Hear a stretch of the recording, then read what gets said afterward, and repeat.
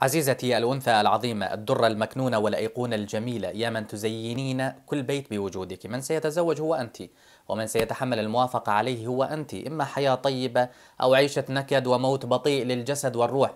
اعلمي أن كل خاطب قادم سيأتي حاملا معه وجها مختلفا وجها يقدم أجمل ما لديه من فنون الغزل والأدب واللباقة. هذا الوجه لا يمثل داخله أبدا فعندما ترغبين بالتعرف عليه فلا تقرأ الغلاف الخارجي وإنما داخله.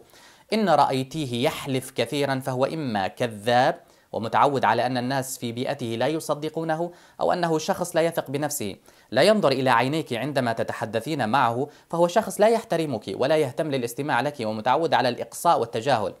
إذا سمح لك بالحديث مع أصدقائه الشباب الذكور أو عبر لك أنه لا يمانع بأن تختلطي مع الذكور فهو لا يغار ولا تسميها ثقة فهو إنسان لا عهد له ولا ذمة.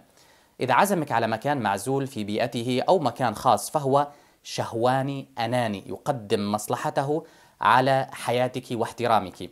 إذا تناول الطعام معك ومع الأهل وما ساعدك بترتيب طاولة الطعام فهو ولو لمجرد محاولة فهو اتكالي كسول إذا رأيتيه أغلب الحديث مع الأهل صامت مستمع فهو ضعيف شخصية وليست لديه خبرة بالحياة. وأحيانا هذا النوع انطوائي انعزالي خجول ومريض نفسيا أحيانا. راقبيه عندما يدخل إلى بيت أهلك. إذا جاء خالي اليدين فهو بخيل أو قليل ذوق.